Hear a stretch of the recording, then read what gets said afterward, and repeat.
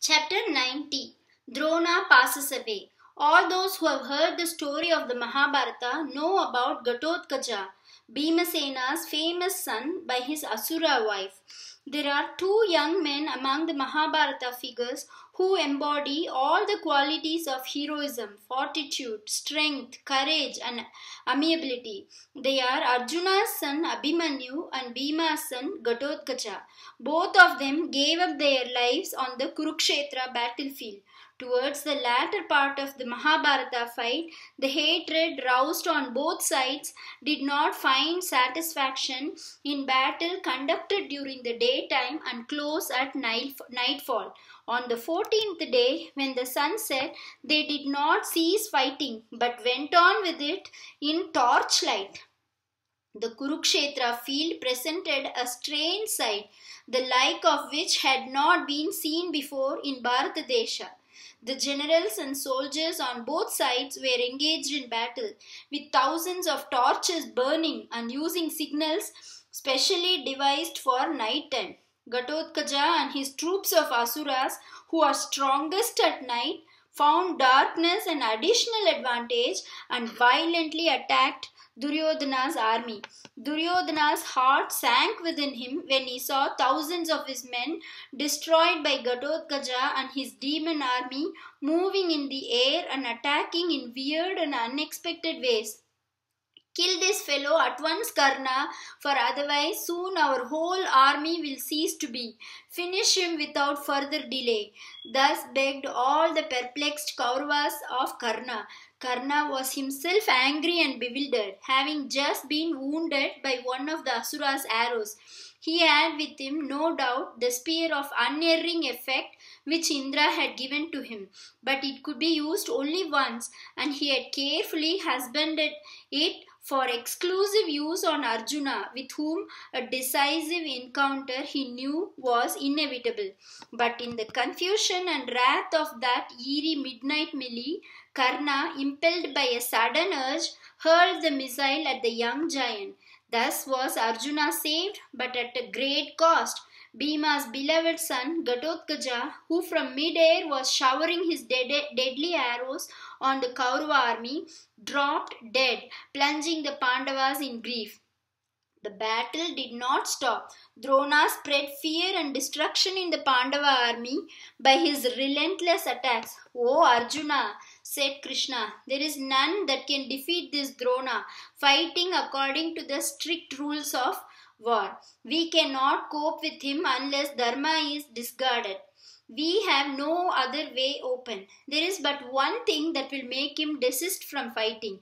If he hears that Ashwatthama is dead, Drona will lose all interest in life and throw down his weapons. Someone must therefore tell Drona that Ashwatthama has been slain. Arjuna shrank in horror at the proposal, as he could not bring himself to tell a lie. Those who were nearby with him also rejected the idea, for no one was minded to be a party to deceit.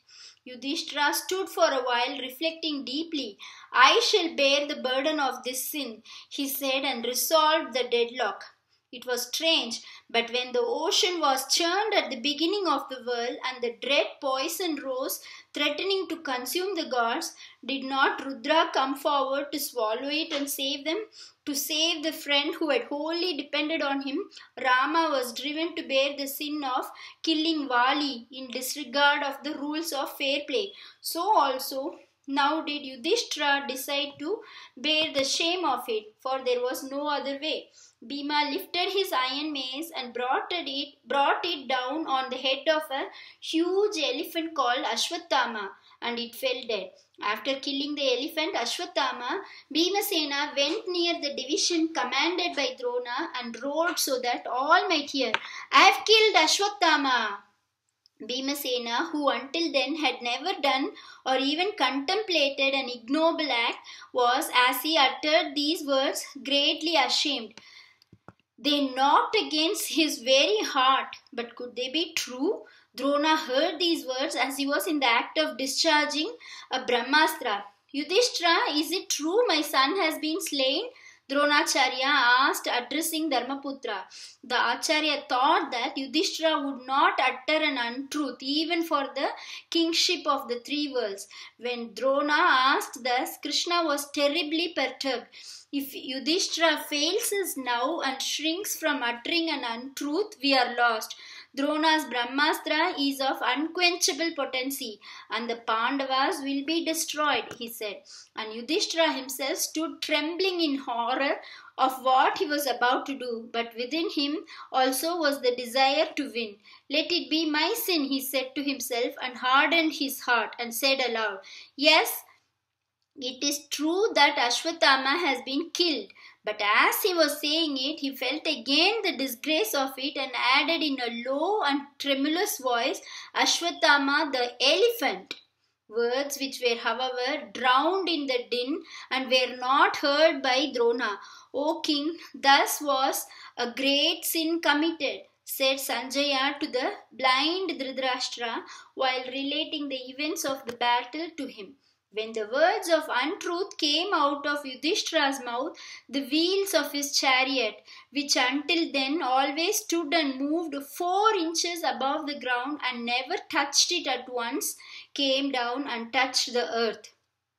Yudhishthira, who till then had stood apart from the world so full of untruth, suddenly became of the earth, earthy he too desired victory and slipped into the way of untruth, and so his chariot came down to the common road of mankind. When Drona heard that his beloved son had been slain, all his attachment to life snapped and desire vanished as if it had never been there. When the veteran was in that mood, Bhimasena loudly spoke, indicting him in harsh words.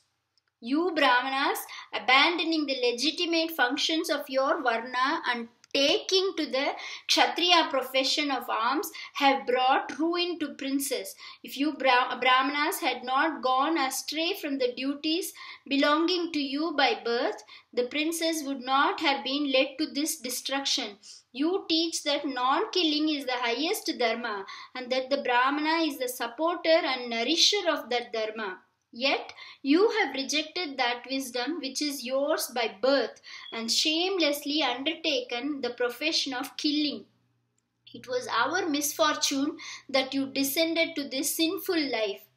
These taunts of Bhimasena caused excruciating pain to Drona, who had already lost the will to live. He threw his weapons away and sat down in a yoga on the floor of his chariot and was soon in a trance.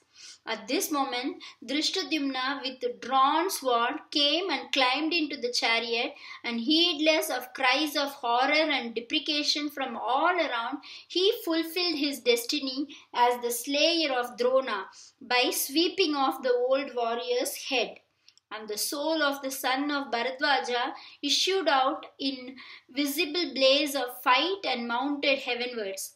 The Mahabharata is a great and wonderful story. The sorrows of human life are painted with sublime beauty and rolled out in a grand panorama. Behind the story of errors and sorrows, the poet enables us to have a vision of the transcendent reality.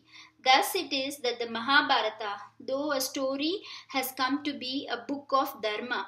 This book, in style and substance, is altogether different from tales and romances. In modern novels, dramas, and pictures, exciting scenes are enacted. The hero passes through dangers and difficulties and finally marries a woman whom he loves. Or else everything seems to go on happily, but suddenly things go wrong and terrible misfortune happens and the curtain drops. This is the art scheme of ordinary sensational stories.